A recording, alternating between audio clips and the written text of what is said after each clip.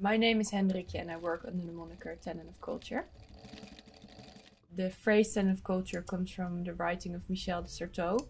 He uses it as a sort of allegory to address the issues between consumers and producers and address the hierarchies that exist within that, specifically within the kind of tactics that consumers use to defy the strategies by producers through misuse and reinterpretation and personalization of mass produced objects, which really relates to my practice of recycling. My studio is in Aldgate East, which is in East London. I didn't know when I moved here, but then slowly, as you start to become familiar with the environment, I saw all these textile production factories here, and there's a lot of places that do wholesale. Because I have a fashion background, I think my practice is really about like attempting to answer questions about the fashion industry that I felt like were inaccessible. To me, that information, just the act of deconstructing a garment provides me with lots of information about the supply chain, but also about the design and about how it was supposed to be perceived, but what happened to it within its like social life. You know, reading the labels and looking what is inside of it, like the way something is constructed says a lot about what its intention. So seams say something about how durable it's supposed to be or how it's being constructed and who constructed it. So it is a way for me to acquire information in a very material way that doesn't necessarily exist on because the label is supposed to provide information, but it, it rarely does. This show coming up at Camden came from the Camden Emerging Artist Prize, which offers you a solo exhibition at Camden Art Centre, which is incredible because it's my first institutional show in the UK. For this exhibition, I went into the Camden archives and coincidentally, I, I found the laundry industry. It was stated as, as employing um, a lot of people at that point in Acton in London.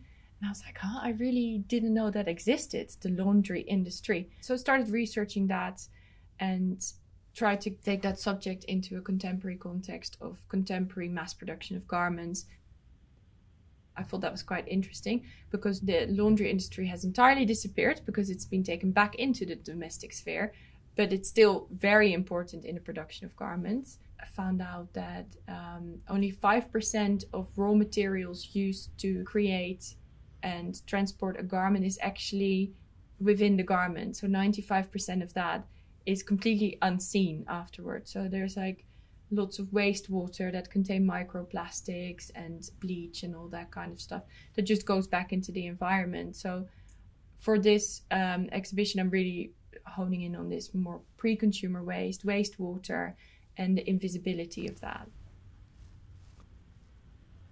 I sourced a lot of performance wear. As soon as I acquire those, I start to take them apart and then it's it's a process of patchworking them together in certain ways and it's a kind of an intimate and very multisensory process i always try to make to cut up a garment in a way that leaves it intact as much as possible because the process of taking something apart creates waste and then i start to assemble them and use the often the construction techniques that they have been constructed with to begin with. So it mimics the same processes and it stays very close to the initial intention of the piece, but exaggerated and they take on these kind of monstrous dimensions to take them outside of the familiarity of the wearable.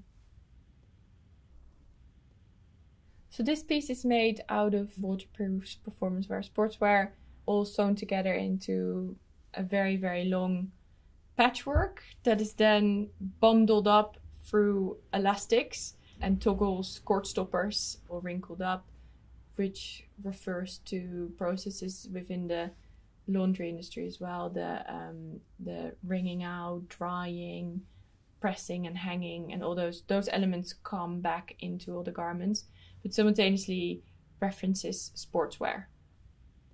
Something that I try to kind of accomplish within the work is that it has the desirability of something that would be in a window display, but the kind of grotesqueness or almost abject nature of something that has been thrown away and becomes this kind of problematic entity that, you know, as waste flows through the world